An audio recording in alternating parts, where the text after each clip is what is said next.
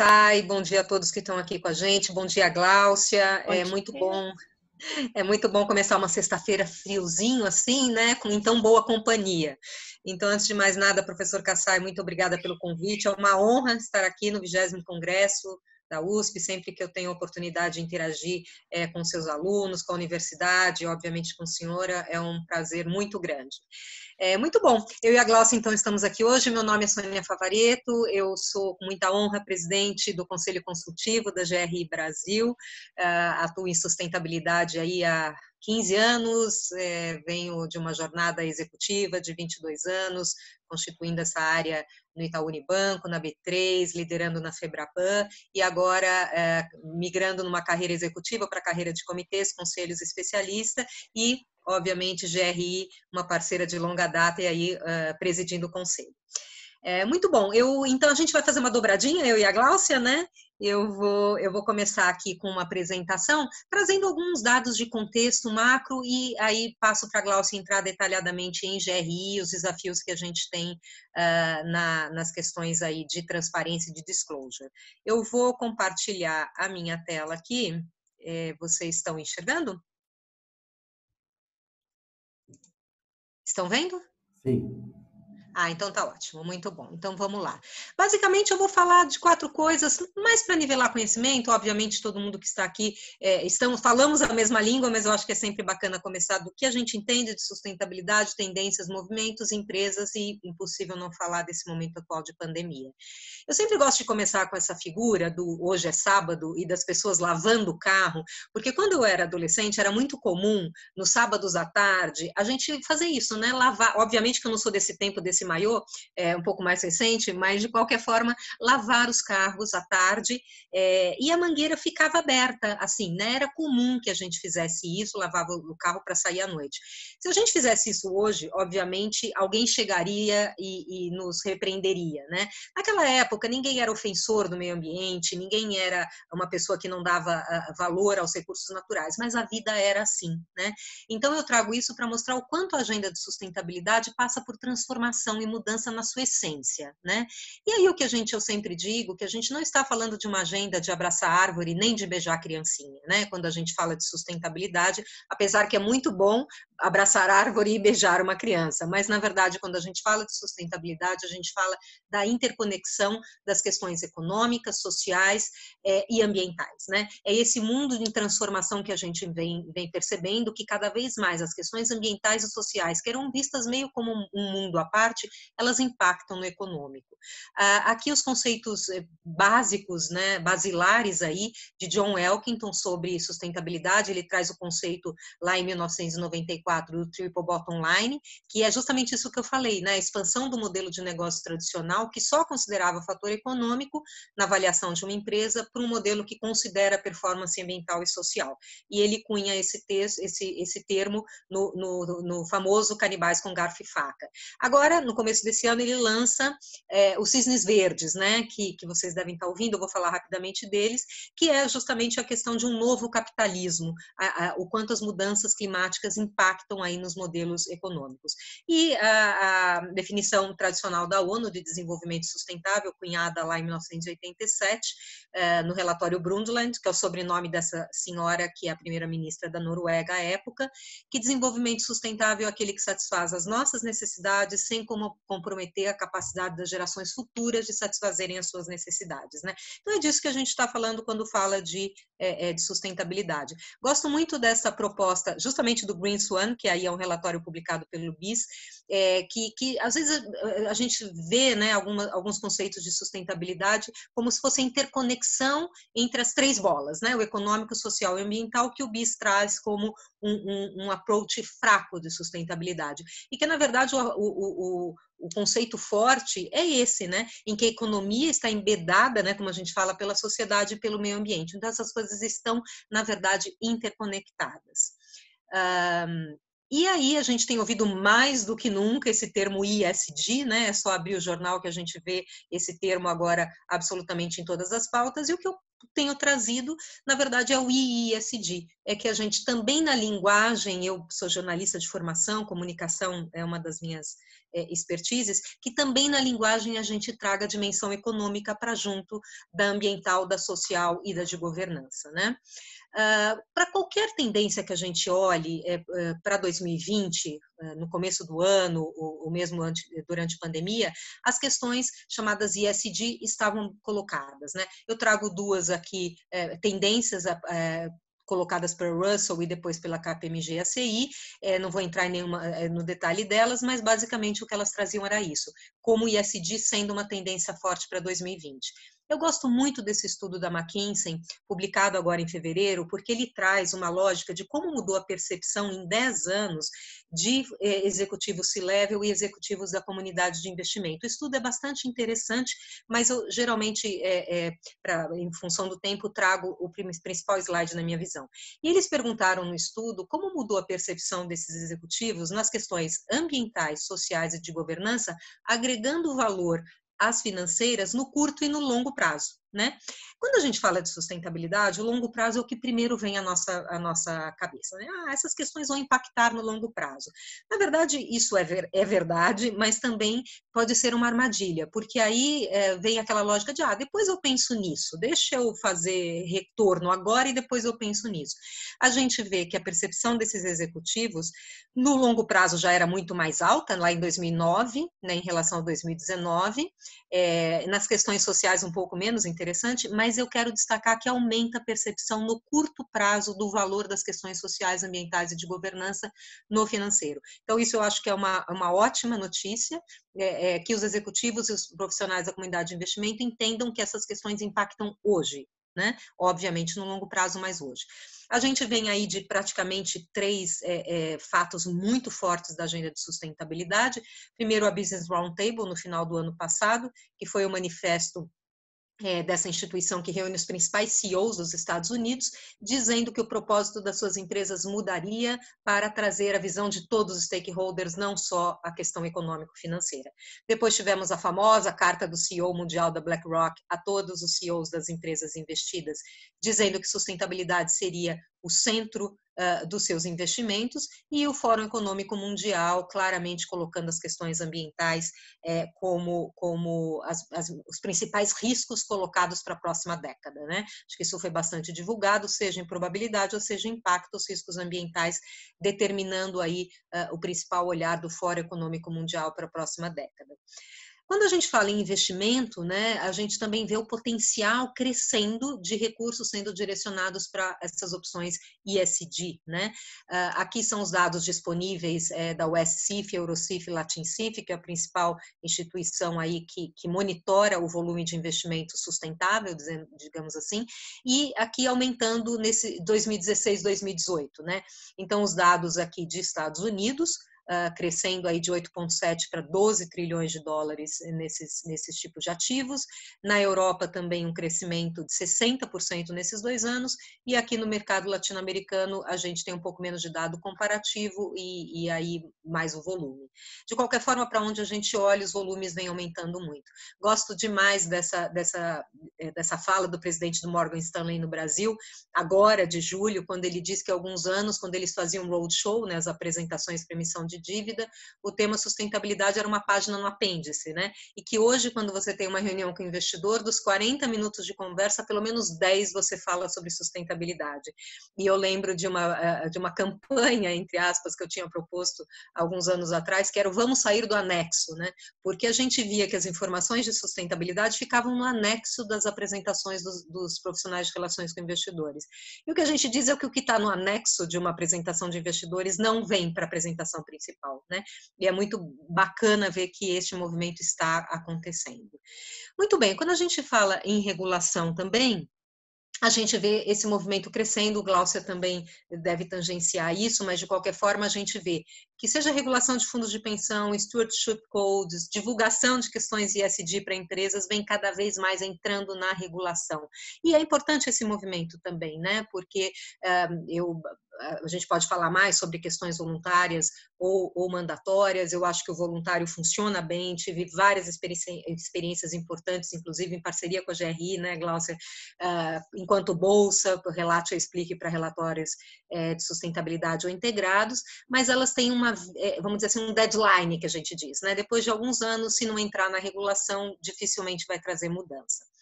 O Green Swan, que eu falei, né, no começo do ano, o, o Bank for International Settlements publica os cisnes verdes, né, esse, esse documento bastante interessante, dizendo da probabilidade de uma crise financeira causada pelas mudanças climáticas, fazendo, obviamente, uma alusão aos cisnes negros. A gente vê muitos movimentos vindo, o European Green Deal, que, que né, é uma, uma, luz que a gente vai seguindo aí, um, colocando a Europa como o primeiro continente neutro do ponto de vista climático em 2050 e qual o caminho para se chegar lá, né? A transição, financiamento, economia circular e uma série de outros conceitos. As companhias, obviamente, estão olhando para isso e não é de hoje e por vários motivos, né? Quando a gente fala de consumidores, estão mudando seus hábitos, os investidores, já falei bastante aqui, direcionando as suas, os seus olhares para a sustentabilidade, os funcionários escolhendo mais do que nunca suas empresas a partir desta agenda e reguladores crescendo aí essas questões. É, são questões que, obviamente, impactam em reputação e imagem, isso já é dado, é até instintivo a gente dizer que quem adota essa agenda tem uma melhor reputação e imagem, cada vez mais a gente concretiza no financeiro, mas trago aqui os dados do Rep Track Company, que eram as tendências para 2020 em reputação, né? uma, uma, uma mensuração bastante representativa. Se a gente olhar as 10 é, tendências em reputação, a gente vê ali investimento responsável, mudança do clima, é, compras responsáveis, igualdade, diversidade, inclusão e, obviamente, propósito, o, o, ativismo do CEO, né? Então, essas questões são, mais do que nunca, itens de reputação. A gente chega no momento atual de Covid, né? Eu, eu, eu gosto muito dessa peça do PNUD que diz que a Covid-19 é uma contradição, né? Ela é pessoal, mas ela é global, ela é invisível, mas ela é visível, e ela não discrimina, mas ela discrimina, né? A gente sabe disso no conforto dos nossos lares hoje, a gente sabe quantas pessoas estão sem lares, né? Então é, é fácil dizer fique em casa quando a gente tem uma casa, ou quando a gente não mora com o nosso agressor, como a gente sabe que tem acontecido muito. Uh, já caminhando para o meu encerramento aqui, uh, trago o Índice Mundial de Certeza uh, lançado, subíndice, na verdade, que é um, é um subíndice do Índice Mundial de Incerteza, e ele é lançado pelo FMI agora em abril, que procura quantificar o nível de incerteza do coronavírus em comparação a outras pandemias e epidemias, né? Então, se a gente olhar, por exemplo, lá é, nessa medição de 31 de março, o nível de incerteza do coronavírus ele era o triplo do nível de incerteza uh, da SARS e quase 20 vezes o nível de incerteza durante o ebola. Ou seja, estamos realmente navegando da, mares nunca antes navegados e muito cheios de incerteza. Todas as vozes que a gente está ouvindo, seja de investidor, FMI, é, cidades, prefeitos, CEOs, profissionais de saúde, é, clamam por uma, uma, uma recuperação verde, né, é, pós-pandemia. É, e, mais, e, esse dia 23 de julho, para mim, ele é muito forte, porque essas foram todas manchetes aí do, do valor e do Estadão, para onde a gente olha, essa agenda está colocada que bom, né? Eu tenho, eu, eu tenho usado uma hashtag que é vivi para ver, né? Vivi para ver este momento acontecer e que a gente possa tirar dele o maior uh, benefício possível. E meu último slide para passar para a Glaucia, quando a gente fala de tendências, eu trago aqui do World Economic Forum White Paper de março, onde ele, ele sinaliza aí as macro tendências, é, quatro macro tendências para frente, é, eu vou de baixo para cima, o foco do investidor nessas questões aumentando, as expectativas da sociedade ab, absolutamente mudando, né, de legisladores, legisladores criando novos parâmetros, consumidores, tudo isso que eu já falei, ativismo de stakeholders também é, muito forte, né, as narrativas da sociedade mudando, e aí a era da hipertransparência, né, Glaucia? A gente, como GRI, que trabalha nessa agenda há tantos anos, pioneiramente, vendo que hipertransparência também vem como uma, uma tendência. Então é isso, eu vou ah, parar de compartilhar e passo a bola aí para a Glaucia continuar. Obrigada. Obrigada, Sônia. Nossa, falar depois da Sônia é um desafio, né, gente? Olha, Se eu soubesse, acho que não, eu tinha deixado a Sônia lá falando sozinha sobre GRI, porque, olha, é difícil. Eu vou agora também é, colocar a minha tela aqui. É, vocês estão vendo a minha tela? Como que eu faço? Coloco em modo apresentação, é isso, né? Então, gente, é, Sônia, professor Kassai, muito obrigada. É, professor Kassai, primeiro pelo convite, é, todos que estão assistindo aqui conosco, muito obrigada pela presença e interesse. E Sônia, muito obrigada pela liderança, pela, sabe, pela, pela liderança, né, por me orientar, por trabalhar comigo. É tão difícil essa área, né? Mas assim, a gente vai, né? A palavra juntos é a melhor coisa, porque é, a gente precisa mesmo trabalhar juntos agora. Tem muita coisa acontecendo, né? E precisa ir. Bom, gente, a Sônia passou é, de forma assim maravilhosa tudo que está acontecendo no mundo, conseguiu fazer o resumo aí em, em 10 minutos. Né? É, eu vou trazer agora, né, dentro desse contexto mundial que a Sônia falou, né, como é que uma empresa é, pode se mostrar né, é, aderente a esse novo contexto que a gente está vivendo. Né? Então, se a GRI existe desde 89, né, ela se estabeleceu em 97 oficialmente, a gente vem falando dessa agenda, e essa agenda nada mais é do que um novo jeito, né, na verdade, uma, um novo nível de civilização. Né? A gente acredita que nesse contexto, é, o novo nível de civilização, no, nesse novo nível de civilização, a empresa ela vai ter que avaliar seu desempenho de uma forma diferente. Isso a gente vem dizendo há muito tempo né? Porque a forma como ela avalia hoje, é, levando só o financeiro em conta, é uma das principais causas da insustentabilidade que a gente está vivendo hoje. Tá? Então, vou falar um pouquinho da GRI nesse contexto. Tá? E, bom, a GRI nasceu em 89, desse acidente horroroso no Alasca, né, da, da Exxon Valdez, né? e nesse momento vários investidores, economistas começaram a discutir por que é que eles, tendo uma série de valores e sendo ativistas, eram investidores é, da empresa que causou esse acidente. Né? Então aí começaram a conversar sobre o que é que estava errado na decisão de investimento. E aí eles descobriram que eles olhavam só o desempenho financeiro e começaram a discutir é necessário maior é, transparência em relação à gestão da empresa. A gente quer saber muito mais sobre a empresa, é, além da questão financeira. A gente quer saber sobre como ela lida com, a, com, o meio ambiente, como é a governança, como é a gestão, como é, é a relação com os trabalhadores, enfim, a sociedade. Né? Porque se a gente olhar só para a questão financeira, a gente vai acabar é, tomando decisão, é, a gente vai acabar decidindo por investimentos errados, né, que tem uma direção oposta aos nossos princípios e valores. Isso foi em 89, a gente já está em 2020. Vocês me desculpem, tá? Eu tenho um casal de calopsitas que quando eu começo a falar, eles ficam com ciúmes e começam a gritar aqui na, embaixo da minha janela. Me desculpem, gente. Espero que não esteja atrapalhando. Mas vamos lá. É... Bom, é, esse slide, para quem já conhece a GRI, trabalha com GRI, é, me desculpem, devem estar cansados de ver, mas é, eu adoro esse slide porque ele, para mim, ele é uma analogia perfeita do que a gente tem que falar. Né? Então, o que a gente está falando com a GRI é que é importante medir essa parte de baixo do iceberg, que são as partes relacionadas àquilo que a gente não vê normalmente nas, nos demonstrativos financeiros, que são os direitos humanos, respeito ao meio ambiente, boa relação com a comunidade, relação com os trabalhadores, com os clientes, enfim, né? e que tem a ver com, principalmente com reputação e credibilidade. Né? E hoje em dia a gente está vendo que é, a sua reputação tem a ver com a perenidade do negócio, porque ela é um, um, um item específico, um item fundamental para duas pontas que injetam dinheiro na empresa, né? Como a gente viu pelo contexto da Sônia, né? Uma ponta são os investidores e a outra a outra ponta são os clientes, tá? Então isso é um aspecto muito importante. E aí aqui eu já queria deixar muito clara a relação da GRI com o relato integrado. O que, que quer dizer é, GRI e relato integrado. Né? Quando a gente vê hoje muitos, né, você abre o relato integrado, você vê que os indicadores são da GRI.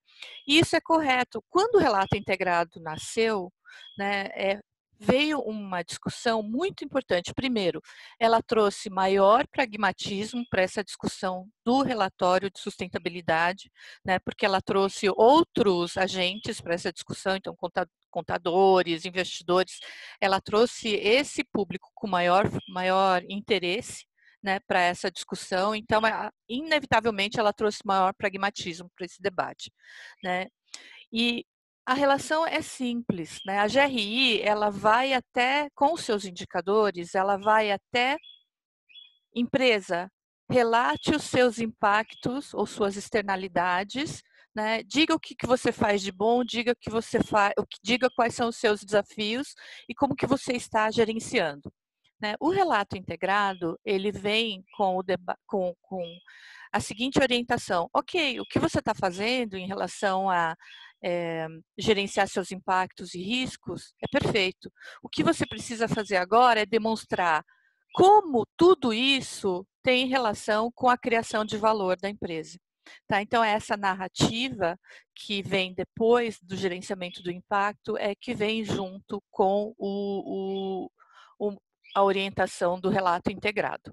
Tá? Quando a gente fala GRI e SASB, é, Aí a gente tem uma, uma, discussão, depois mais tarde eu vou mostrar um slide em que eu faço uma comparação para o setor de mineração. Né? A GRI está trabalhando com o SASB, né, muito próximo, para trabalhar na questão da harmonização, né, para que a empresa não precise fazer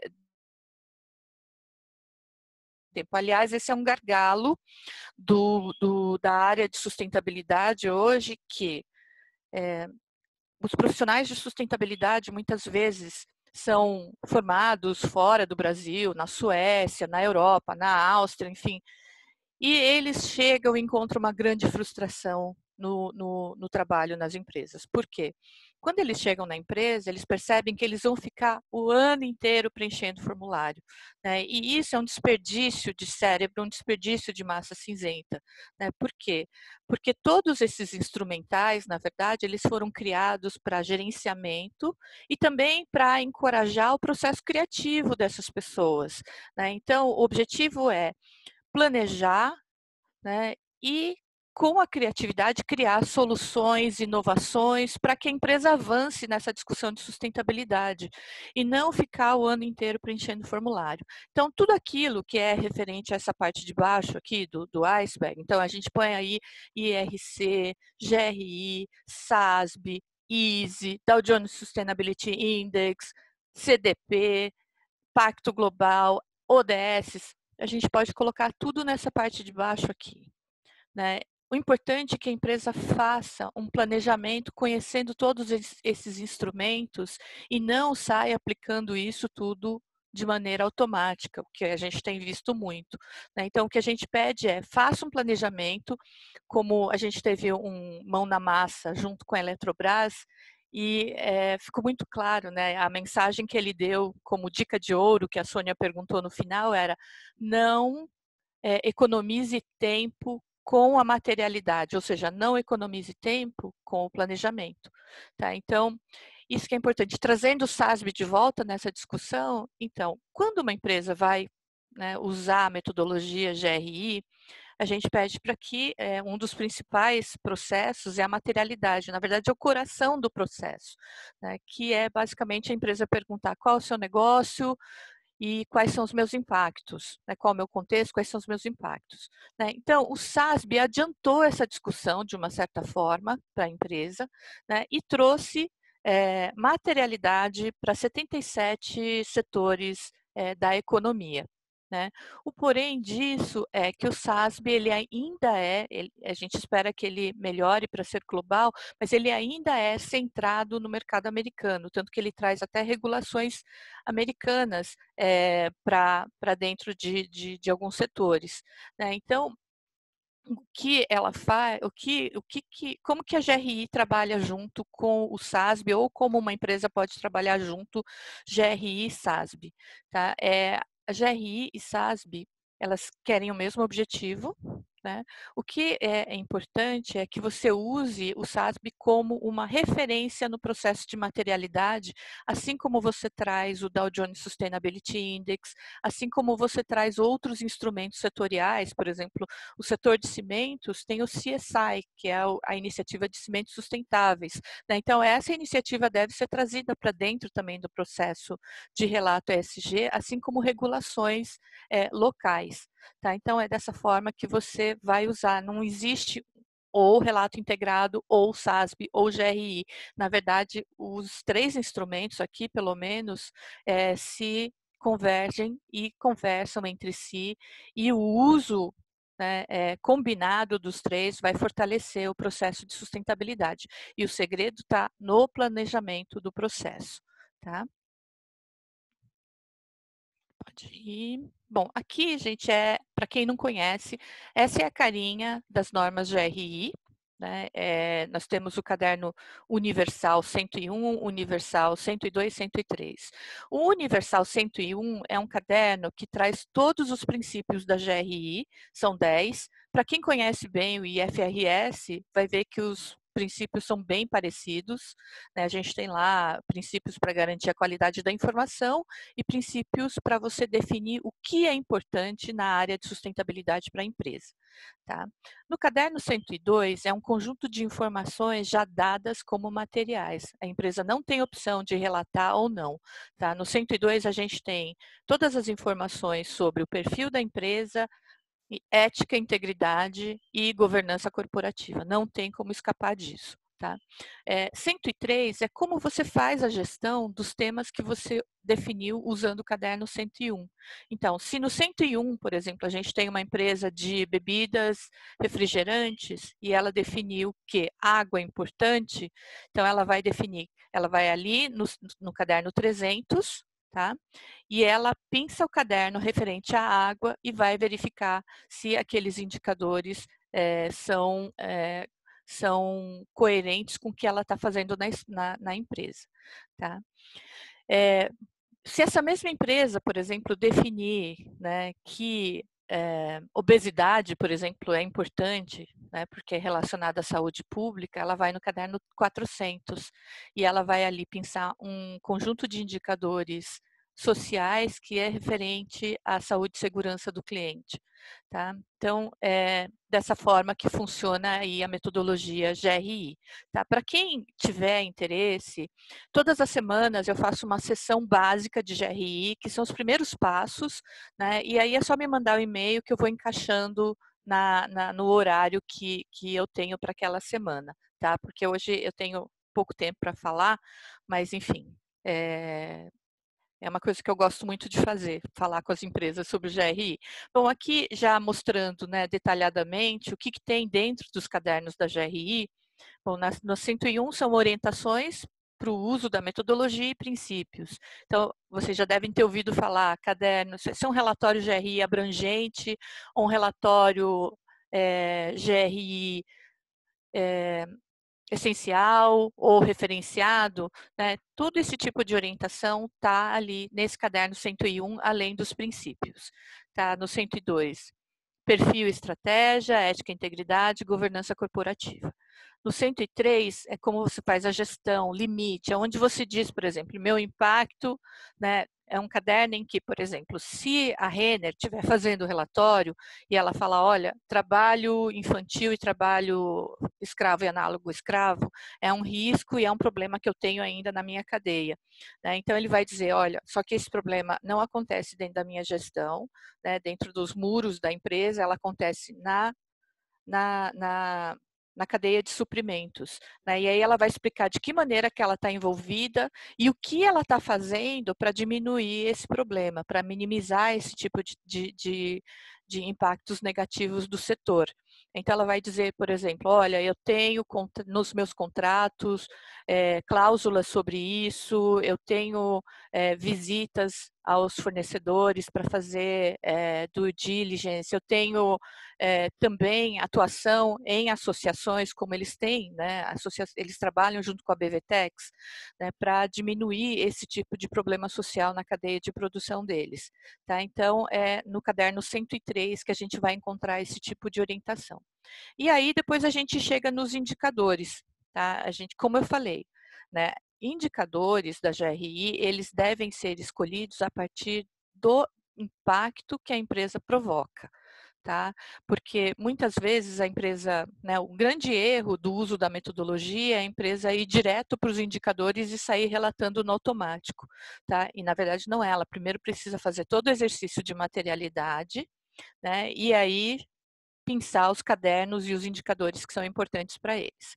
Tá? Bom, nos indicadores econômicos a gente tem é, desempenho econômico, por exemplo. Aqui tem um indicador muito conhecido de vocês, da área de contabilidade, que é o DVA. Né? É o primeiro indicador econômico, um dos mais importantes, e ainda assim tem empresa que deixa de relatar esse indicador, apesar de ser um, um, um indicador que é até regulado aqui no Brasil. Né? Mas, enfim, desempenho econômico, presença no mercado, impacto econômico indireto, combate à corrupção, compras locais, concorrência desleal e tributos. A GRI está entrando agora nessa questão de tributos, né, e a gente pode ver que um dos maiores problemas, né, um dos maiores causadores, por exemplo, da desigualdade de renda no mundo, é essa questão de tributos. Né? Então, é, a gente tem, além de ter, ter, questões relacionadas à corrupção também, né? Por exemplo, é, algo pode ser legal, mas pode ser ainda eticamente incorreta. Por exemplo, você ficar anos a fio devendo né, imposto e chega um ano antes da eleição presidencial, você obtém o você obtém o, o, perdão dessa dívida, esse é um recurso público que você deixou de pagar. Depois a gente tem um estouro um problema gigantesco como, como a pandemia, e todo aquele recurso que você deixou de pagar para a Previdência faz falta. Né? Então, assim, é, são aspectos relacionados a isso. A gente pergunta sobre como é a sua governança em relação a tributos, como que você trabalha isso. Tá? E aí, no final, a gente pede numericamente pagamento por por é, jurisdição. Tá? Infelizmente, a GRI ela não foi tão a fundo é, em relação a esse indicador numérico, ela pede por país e ela não pede por cidades ou estados, que isso seria é, interessante aqui para o Brasil para evoluir nessa conversa. Bom, é, no caderno 300, a gente tem ali os indicadores relacionados a materiais, energia, água, biodiversidade, emissões, resíduos, conformidade ambiental, avaliação ambiental de fornecedores. Cada um desses tópicos tem os indicadores e cada indicador tem um protocolo, tá? que é uma orientação de como você deve relatar esse indicador. Tá? Agora, nada disso, nenhuma dessas orientações é de a GRI resolveu orientar. Não. Todos os indicadores da GRI, eles vêm de iniciativas universais, tá? Especialmente essas iniciativas universais que são gratuitas, elas não, por exemplo, vocês não vão encontrar uma norma que você deve pagar para obter dentro da norma GRI. Tá? Como a GRI é gratuita, ela usa sempre é, iniciativas universais e que você não precisa pagar para poder utilizar. Então, é, você vai encontrar ali, por exemplo, em emissões de HG, tá? Resíduos, você vai encontrar economia circular, tá? Enfim, são todas é, iniciativas que você é, pode obter na internet e se aprofundar. Tá? O que a GRI faz é pegar essas iniciativas, discutir de maneira multi-stakeholder em como que esse, essa iniciativa poderia virar indicadores. Tá? Assim como ela fez, por exemplo, para os indicadores sociais. Né? Então, ali a gente tem convenções da OIT, a gente tem é, Declaração Universal de Direitos Humanos, enfim, e tem também discussões que, em que a GRI foi na frente e hoje acabou virando regulação. Tá? Então, é, nos indicadores sociais a gente tem emprego, relações trabalhistas, saúde e segurança no trabalho, treinamento e educação, diversidade, igualdade de oportunidades, não discriminação, liberdade de associação e negociação coletiva, É, trabalho infantil, trabalho escravo, análogo escravo. Vejam, trabalho infantil, trabalho escravo, trabalho análogo escravo. Isso tem na nossa é um artigo da, são artigos da CLT, tá? Então muitas vezes eu questiono por que, que as pessoas acham que GRI é complicado, né? Porque é, talvez seja pela quantidade de orientação que ela dá para você trabalhar, mas isso deveria representar clareza do processo, né? Então a GRI talvez peque por orientar demais, detalhar demais como que você deve fazer, mas eu vejo isso como uma forma é, interessante, uma forma boa, né? Eu acho extremamente positivo, porque ele está orientando né? Ele não está dizendo que você deve relatar e fazer textos enormes. Né? E talvez a quantidade de orientação psicologicamente acabe afetando o usuário e levando a organização a fazer coisas gigantescas, mas na verdade não. Tá? Se você tem muita orientação para fazer algo sucinto. Tá? Bom, não discriminação, como eu falei, né? trabalho infantil, trabalho, práticas de segurança, prática de segurança patrimonial, tá? É, direitos dos povos indígenas e tradicionais, avaliação em direitos humanos. Isso daqui, gente, é basicamente a iniciativa da ONU de empresas de direitos humanos, comunidades locais, avaliação social de fornecedores, políticas públicas, saúde e segurança do cliente, marketing, rotulagem, privacidade do cliente. Esse, esse indicador, ele existe desde a primeira versão da GRI lá em 97. E hoje a gente está vendo que ele é uma das principais né, é, tendências apresentadas pela Rep Risk, ou, que a Sônia apresentou no início, né, que é Data Privacy. Né, porque a gente está vivendo esse mundo, a internet, inteligência artificial, enfim. A GRI vem falando disso desde a primeira versão, e hoje a gente tem a LGPD que vai entrar em vigor aqui no Brasil, na Europa o GDPR, na qual eu, eu né, na verdade, eu tenho que é, obedecer o GDPR porque eu trabalho para a GRI, que tem a sede na Europa. Então, assim, eu tenho que fazer exatamente como está escrito lá nessa norma, tá? E privacidade do cliente, conformidade social. Bom, esses são os itens que tem dentro do, dos indicadores da GRI. Qualquer organização pode baixar do site da GRI. Se não conseguir, pode falar comigo, me manda um e-mail que a gente é, providencia aí a cópia. Tá? Bom, isso daqui, gente, é o mantra do processo de relato. Então, tanto para quem vai avaliar, quanto para quem é, vai é, relatar, né, isso aqui deveria ser um guia né, que é basicamente um resumo daquilo que a gente está pedindo pelos quatro primeiros princípios da GRI. Então, qual o negócio da organização? Qual é o contexto setorial, local e global? Quais impactos positivos e negativos, reais e potenciais, são causados pelas atividades da organização? Né? E aí, junto, quais são os stakeholders?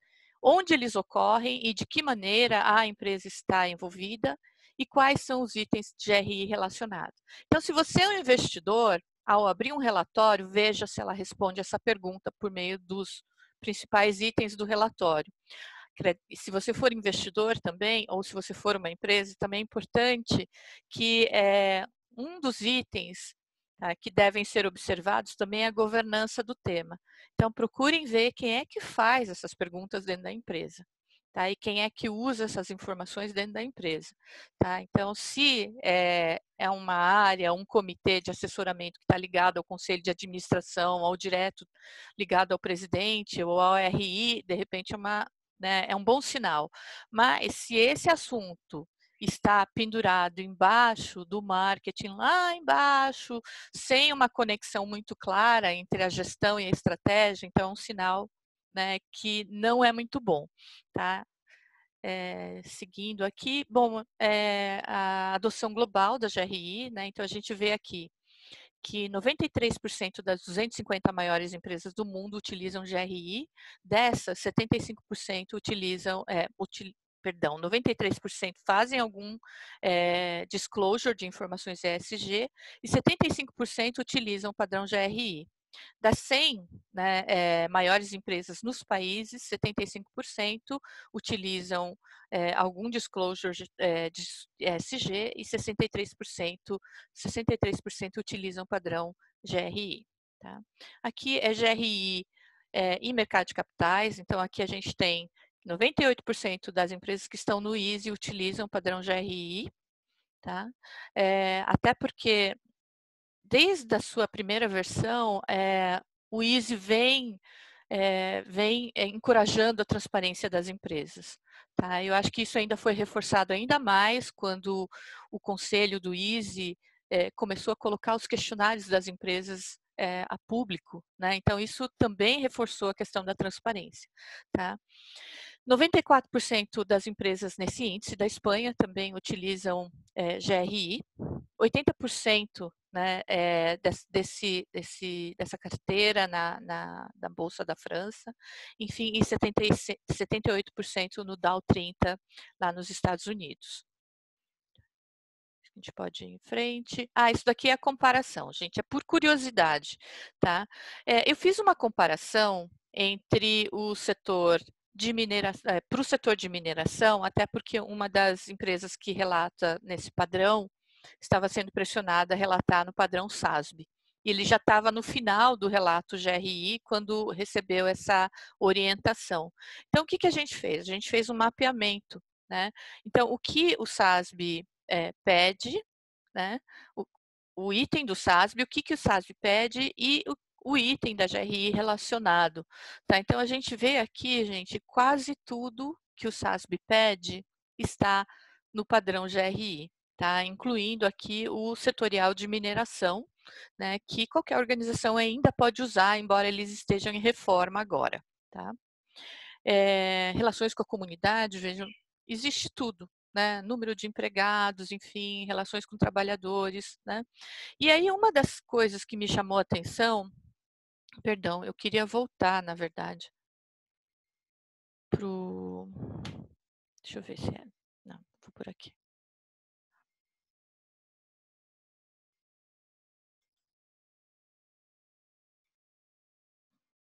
Né? Uma das coisas que me chamou a atenção é como ele é, né, assim, dependendo do contexto, é, não tem jeito. O processo de materialidade ainda tem que ser feito, né? Porque, por exemplo, para mineração, no caderno do SASB não aparece a questão de derramamento, por exemplo. Tá? Então, isso é uma questão que eu entendo como material e que, por exemplo, é, é muito importante para um investidor tomar decisão. Outra coisa que a gente vê que é muito importante e que não aparece na metodologia, e aí é, o próprio SASB fala, olha, a gente é para usar os dois juntos, GRI e SASB. Né? O que é, a gente vê um aspecto importante, a sustentabilidade, e que vem se fortalecendo nessa discussão em que os investidores é, estão né, entrando com mais força, é a questão da governança corporativa da empresa. Né? Então, esse é um item que não aparece no, na metodologia SASB.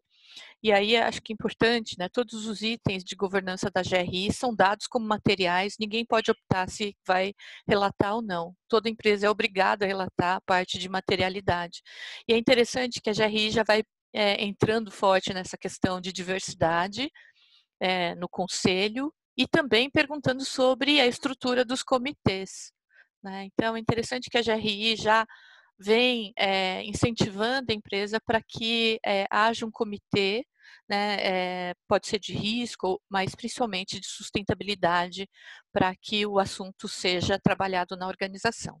Tá? Então, acho que é, são os aspectos que eu tinha que falar sobre o SASB. Bom, gente, aqui é uma curiosidade, a GRI é uma ONG, né, ela está sediada em Amsterdã, é, não é só porque ela está lá em Amsterdã, né, na Holanda tal, não é fácil a vida, né, é, a, gente vê, a gente tem uma viabilização financeira aí que a gente consegue operar, mas é bem apertadinho, tá? Então, 33% vem de aportes de governos, né, que investem é, recursos de fundos perdidos, enfim, SIDA, que é da Suécia, SECO da Suíça, Austrália, né, mas está entrando governo da Alemanha, enfim, tem é, ajuda aí desses governos aí para fortalecer a questão da transparência, até porque é importante transparência para que eles continuem fazendo o negócio de uma maneira saudável. Né? Então, para que eles possam comprar, para que eles possam, investidores desses países possam investir, enfim. Né? Então, essa é a razão da ajuda que eles dão para a GRI. Aí a gente tem aqui um programa que está em reforma nesse momento, que é o GRI Community, né, que são empresas que se associam à GRI. A gente tem aí bastante consultores associados, até porque a GRI é, tem um programa de, de conteúdo assim muito importante, né, que vários webinars, né? Eu faço bastante webinars aqui no Brasil, eles são gratuitos, mas alguns da GRI Amsterdã são fechados para quem é associado, tá? Serviços, né? Então, toda empresa que faz o relatório no padrão GRI pode mandar para lá para conferir se a estrutura está correta, tá? É a estrutura e não o conteúdo. O conteúdo é verificado por terceira parte, como as Big Four aqui no Brasil. Tá? É, convite para vocês, né? A GRI tem feito semanalmente webinars, tá? É, a gente está fazendo um webinar chamado GRI Reflexões, que são sobre aspectos relacionados a relato, mas de uma maneira mais abrangente. Então, é algo relacionado à sustentabilidade e que acaba é, tendo uma, um, uma relação com o relato. Tá? GRI Mão na Massa, em que a gente aborda relato especificamente, a gente vai falar materialidade, ou a gente vai falar sobre o processo de relato, ou como faz engajamento das partes interessadas, ou como que a gente deveria relatar adequadamente indicadores relacionados à diversidade. Tá? Então, todos estão convidados, são gratuitos, né? É, e sem mudanças, a gente está construindo um manual para investidores, né, de que maneira que eles utilizam o padrão GRI para avaliar suas empresas. A gente está trabalhando numa edição especial da página 22, que é uma avaliação do ponto de vista da sociedade e dos stakeholders em geral, em como que eles estão vendo a transparência das empresas.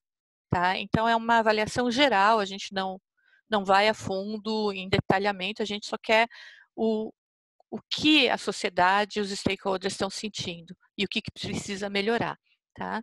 É, a gente tá, não está aqui também, mas a gente está trabalhando num manual para comitê de assessoramento em é, comitê de sustentabilidade, enfim, como que você constrói um comitê de assessoramento em sustentabilidade, né? É, e também num projeto que é bastante ambicioso, né, que vem muito da demanda dos usuários que fazem o processo de relato corretamente, né, que querem se ver separados do que ainda continuam usando o processo é, enfim, propaganda.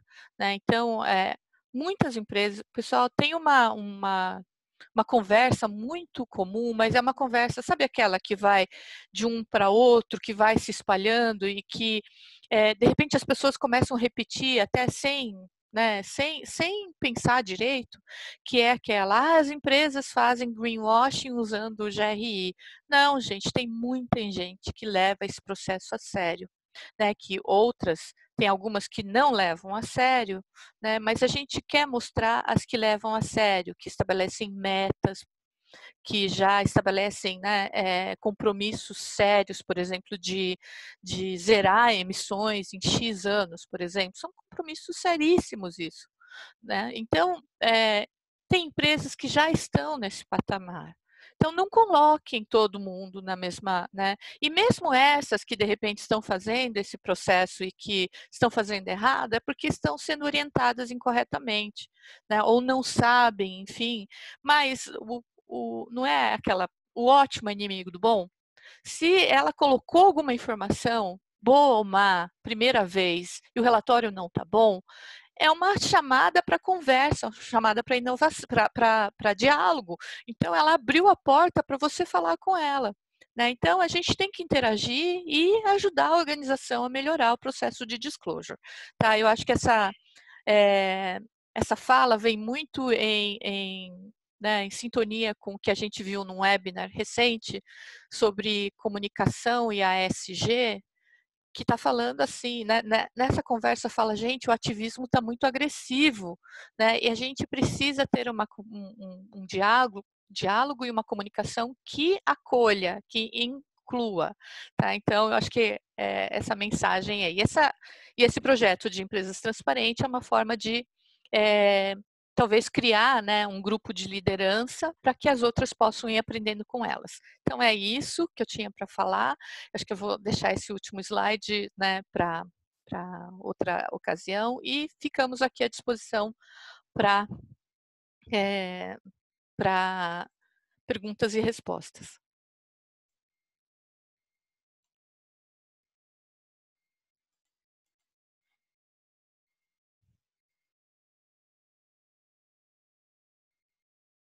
Professor? Ok, então é, abrimos a palavra e os vídeos aí para os participantes. Acho, é, acho que poderíamos aproveitar a presença da Vânia, né? É, como nós participamos no evento dela ontem, então sinta-se à vontade, Vânia, para fazer algum comentário. Ah, obrigada, professor. É uma honra estar aqui. Ah, ouvir a Gláucia e, e, e, a Sônia é sempre um privilégio. Dois dias seguidos, então, nossa, é top. E ah, já, já falei com a, com a Sônia no particular o quanto a palestra dela foi boa. Já, inclusive, pedi os slides para usar nas minhas aulas para os meus alunos, porque eu acho que essa é uma mensagem que vale a pena a, a, a gente a, a gente divulgar. Ah, mas ouvindo a Glaucia, então aí eu fui às alturas, porque se eu já achava que a gente tinha muita coisa em comum, escutando a Gláucia, eu acho que aquele chá das cinco com a Sônia tem que ser uma reunião de trabalho para a gente poder unir as forças entre a, a, a, comissão do relato integrado e o GRI, porque a gente pensa exatamente igual em muita, muita, muita coisa mesmo. Ah, principalmente essa, essa sua última fala sobre a lista de empresas transparentes.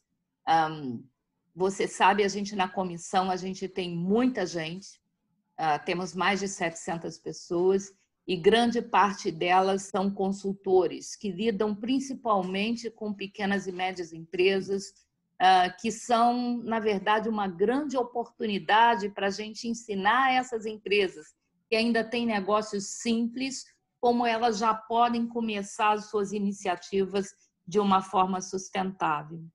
Outra coisa que eu adorei ver você falar é, não sei se você sabe, mas eu agora estou no Conselho Internacional da Shift Human Rights, que implementa os direitos humanos nas empresas e elas só podem reportar se houverem iniciativas sendo desenvolvidas. E acho que você deixou isso muito claro uh, na sua palestra. E com as listas de empresas transparentes, então, fechou. Nós estamos formalizando a comissão do relato integrado agora, porque temos várias iniciativas sendo iniciadas. Temos que retomar aquela nossa iniciativa de preparar as estatais para reportar, Gláucia. O Amaro já nos deu luz verde, temos que voltar e conversar com a SESC.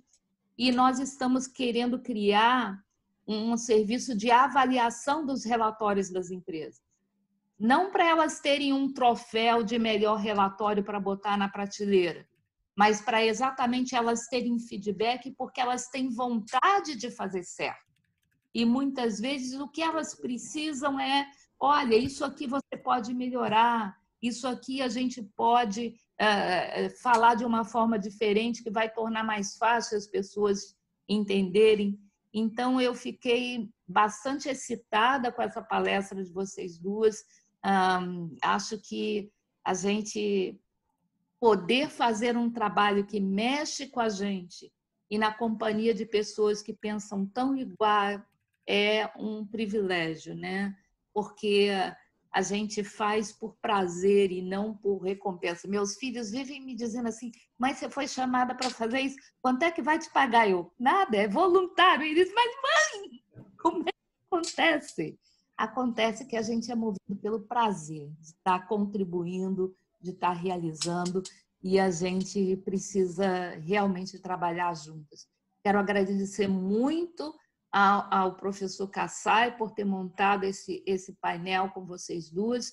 Acho que é uma mensagem que precisa mesmo ser, ser compartilhada e a gente precisa uh, é, ser uma voz que está transmitindo juntos para que os outros possam acreditar e faz sentido aquilo que está sendo dito. E só para vocês terem um feedback é, de quão importante é a mensagem de vocês, eu tenho já algumas pessoas de meus contatos que estavam participando e precisaram sair agora para assistir uma aula e já me mandaram mensagem: Vânia, pelo amor de Deus, consegue a gravação, porque eu vou perder o finalzinho e eu não quero perder um segundo sequer daquilo que está sendo discutido.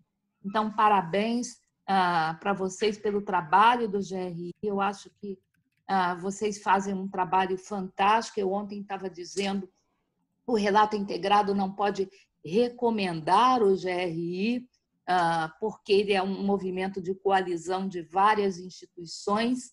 Então, por que, que eu recomendaria o GRI, não o CDP e não o SASB, quando na verdade a gente está lá nessa missão juntos? Mas eu acho que vocês dispensam recomendações, né? Acho que os próprios slides que você mostrou, Glaucia, o GRI é o padrão mais usado no mundo, ah, não é perfeito, mas o relato integrado é, nenhum é, é, padrão é perfeito, nós estamos em constante aprimoramento e acho que é indiscutível que vocês foram pioneiros nisso, então tem muita bagagem para compartilhar e a gente é muito grato pela contribuição que vocês dão para o mercado nesse sentido de trazer a sustentabilidade como uma realidade, não como a Sônia mostrou, um abraçar a árvore ou beijar criancinhas. Parabéns para vocês duas e contem sempre com a Comissão Brasileira do Relato Integrado.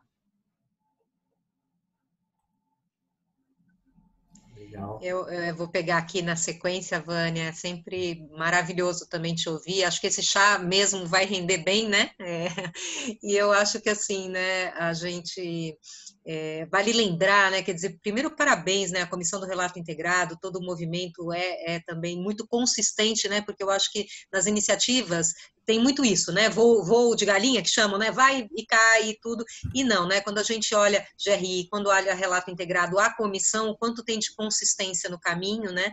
E, e aí eu lembro quando teve o GT de empresas pioneiras. Lembra que trabalho lindo que foi feito ali, que a Glaucia, a OCB, era, era uma coalizão, né? Glaucia, a Glaucia pode falar melhor, eram várias, Pacto Global, enfim, várias instituições juntas e o quanto a gente ali, os roadshows com investidores, né? Eu lembro que a gente sediou alguns.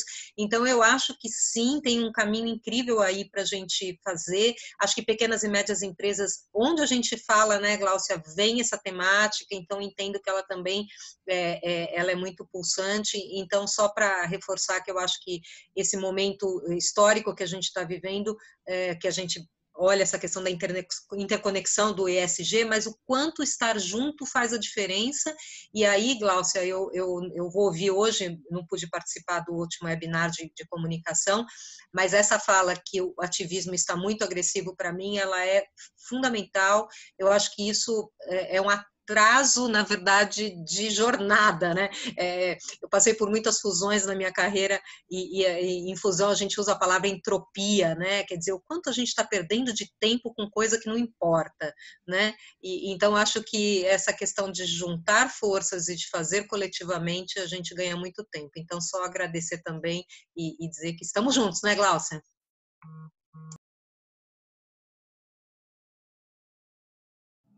Tá mudo, eu acho. Glaucia, o seu. É, nosso ponto de contato, sim, é o nosso ponto de contato, GRI e relato integrado é o Denis, né? Ele tem ajudado a organizar os, os webinars da GRI né? E eu queria agradecer, porque há o, o apoio institucional do relato da, da, comissão, né, nos nossos webinars, enfim, e eu acho que isso está sendo interessante, acho que eu, né, tá, não é por acaso, como diz a Sônia, né, é, é uma coisa que tinha que é, acontecer.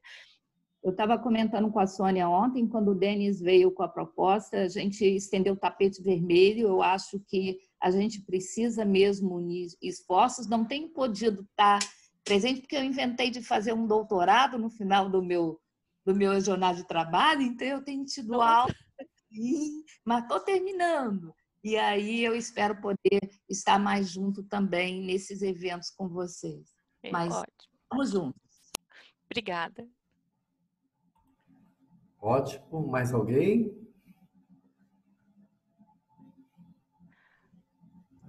Professor, eu quero aprender como é que põe esse fundo maravilhoso que está aí atrás do senhor é. GRI, não é incrível? Olha só. Olha, é maravilhoso. É bonito, até sair. Nem eu tenho. pois é. é. A gente vai aprendendo. É, então, se ninguém mais quer falar, eu, vou, eu passo a palavra às palestrantes, né, para sua mensagem final. Bom, eu, eu só agradecer de novo, né? Eu acho que as oportunidades de estarmos juntos elas são riquíssimas, a gente compartilha, a gente aprende, a gente se reconecta, né? E, e aí eu queria dizer que hoje, na verdade, também estamos chegando no dia da sobrecarga da terra no Brasil né? É, justamente no dia 31 de julho, esse é um dia que mundialmente a, a, aquela instituição, a Earth Overshoot Day, calcula que dia do ano a gente entra no que a gente chama de cheque especial da Terra, né?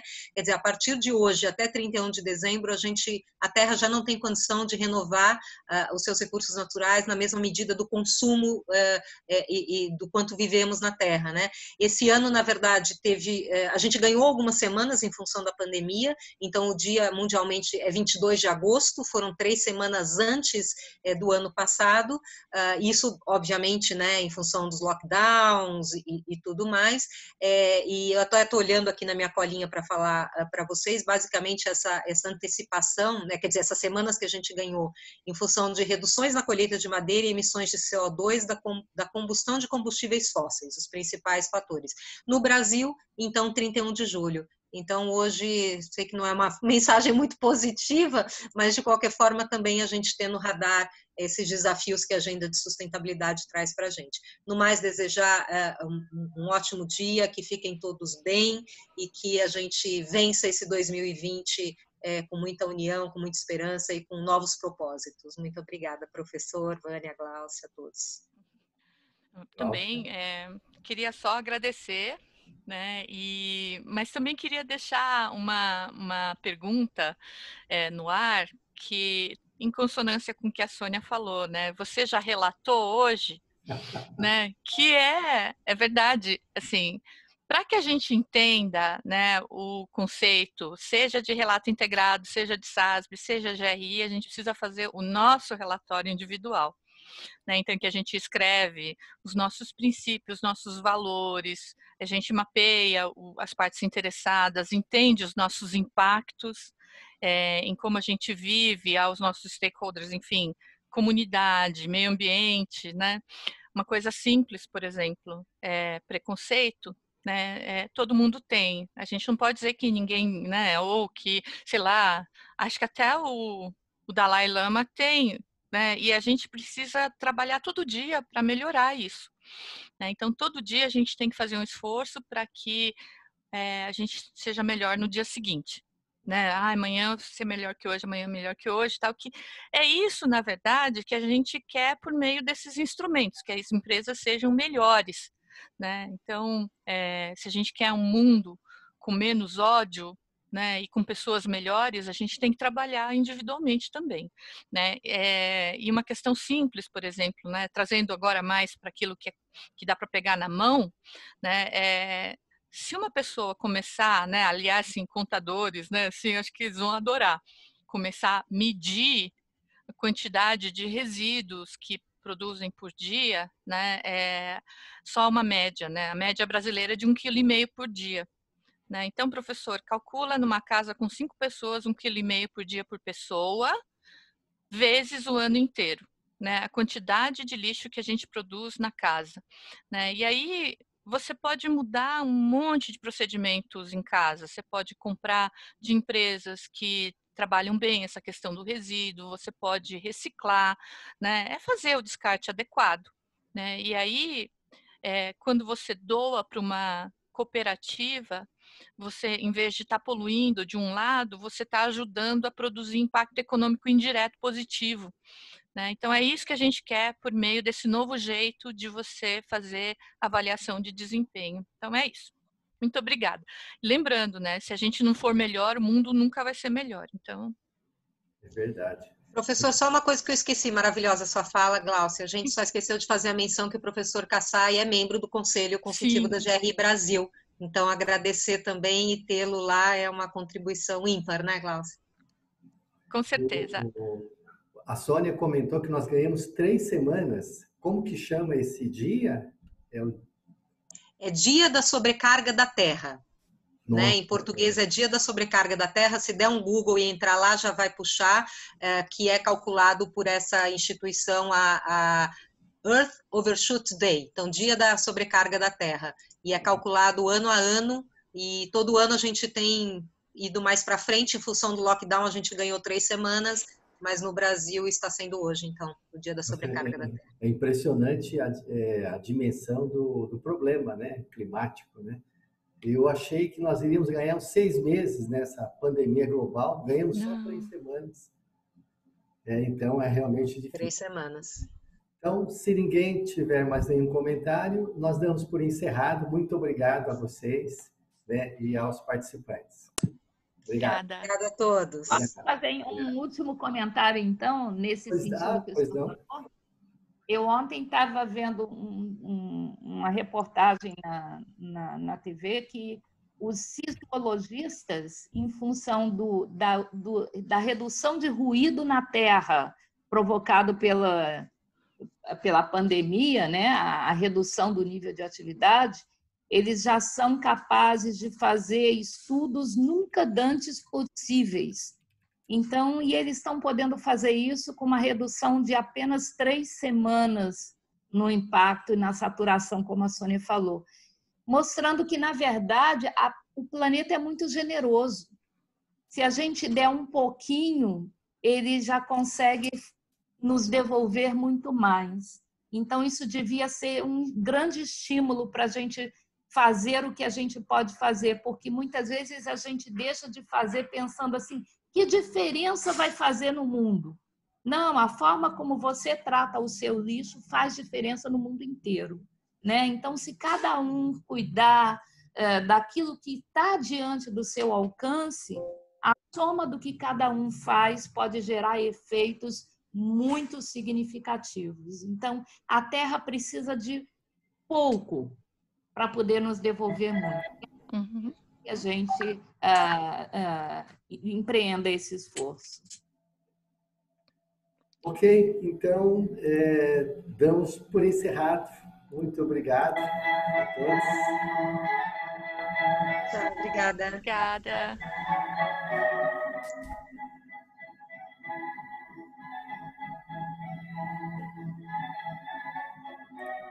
Thank you.